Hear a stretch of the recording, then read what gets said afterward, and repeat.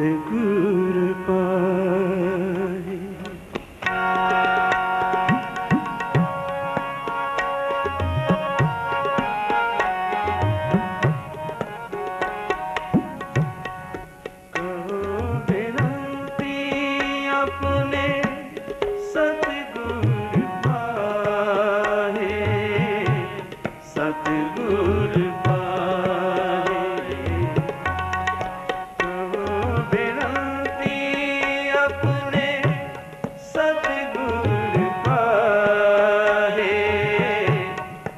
ਸਤਿਗੁਰ ਪਾਹੇ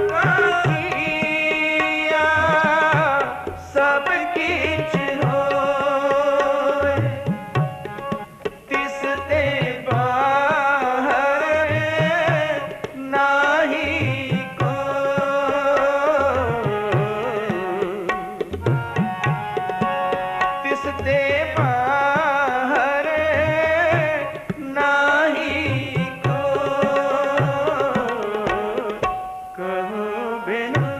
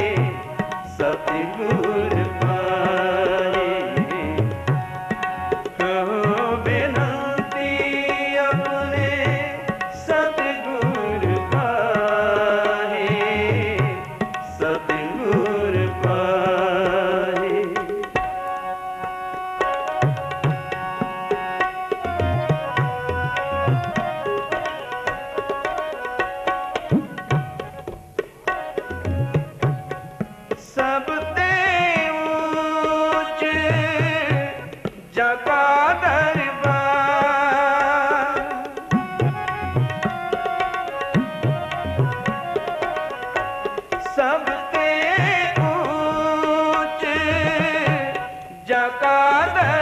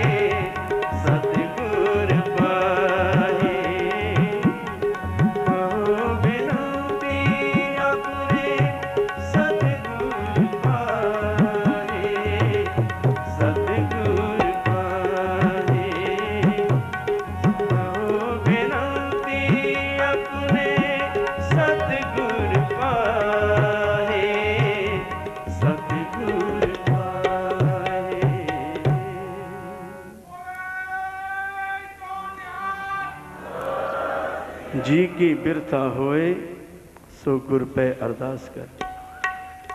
ਗੁਰਸਿੱਖ ਨੂੰ ਇੱਕ ਅਰਦਾਸ ਦਾ ਸਾਧਨ ਬਖਸ਼ਿਆ ਹੈ ਮਹਾਰਾਜ ਨੇ।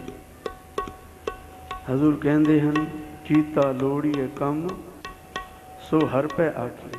ਕੋਈ ਵੀ ਕਾਰਜ ਕਰਨਾ ਲੋੜੇ, ਉਹਦੀ ਸਫਲਤਾ ਵਾਸਤੇ ਆਪਣੇ ਸਤਿਗੁਰੂ ਦੇ ਚਰਨਾਂ ਵਿੱਚ, ਵਾਹਿਗੁਰੂ ਦੇ ਚਰਨਾਂ ਵਿੱਚ ਅਰਦਾਸ ਕਰੇ। ਜਦੋਂ ਸ਼ਰਧਾ ਨਾਲ ਉਹਦੇ ਚਰਨਾਂ 'ਚ ਅਰਦਾਸ ਕਰੇਗਾ, ਹਜ਼ੂਰ ਕਹਿੰਦੇ ਨੇ ਫਿਰ ਉਹ ਆਪਣੇ ਬਿਰਧ ਦੀ ਪਾਲਣਾ ਕਰਦਾ ਹੈ। ਕਾਰਜ ਦੇਹ ਸਵਾਰ, ਸਤਿਗੁਰ ਸੱਚ ਸਾਖੀ ਹੈ। ਉਸ ਸੱਚਾ ਵਾਹਿਗੁਰੂ ਸਾਖੀ ਰੂਪ ਹੋ ਕੇ ਕਾਰਜ ਨੂੰ ਸਵਾਰਨ ਕਰਦਾ ਹੈ। ਸੋ ਅੱਜ ਇਹਨਾਂ ਬੱਚਿਆਂ ਦਾ ਜੋ ਆਨੰਦ ਕਾਰਜ ਹੋਣ ਵਾਸਤੇ ਜਾ ਰਿਹਾ ਹੈ, ਗੁਰੂ ਪਾਤਸ਼ਾਹ ਮਿਹਰ ਕਰਨ, ਸਾਰੀਆਂ ਸੰਗਤਾਂ ਆਪਣੀਆਂ ਹਿਰਦੇ ਦੀਆਂ ਢੁੰਗਿਆਈਆਂ ਵਿੱਚੋਂ ਇਸ ਸ਼ੁਭ ਕਾਰਜ ਤੇ ਸ਼ੁਭ ਅਸੀਸਾਂ, ਸ਼ੁਭ ਕਾਮਨਾਵਾਂ ਪ੍ਰਦਾਨ ਕਰ ਰਹੀਆਂ ਨੇ। ਆਓ, ਸ਼ਬਦ ਪਹਿਲਾਂ ਪੜਿਆ ਜਾ ਰਿਹਾ ਸੀ। ਭਾਈ ਸਾਹਿਬ, ਭਾਈ ਜਸਬੀਰ ਸਿੰਘ ਜੀ ਪੜ ਰਹੇ ਸਨ। ਪੂਤਾ, ਮਾਤਾ ਕੀ ਆਸ਼ੀਸ਼।